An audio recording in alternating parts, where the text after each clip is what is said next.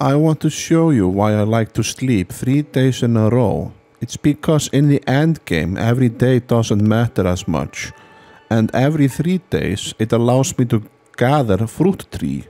Fruit tree grows three fruit every three days, and I have to get the fruits from the fruit tree, or there won't be any more fruit to grow.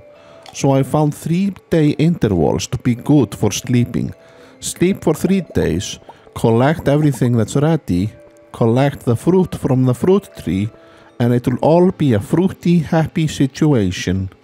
So if you're wondering why I sleep for three days, it's because my farmer is depressed and can't get out of bed only once every 72 hours. Feels bad, man. Sad farmer. But I get the fruit tree. Banana.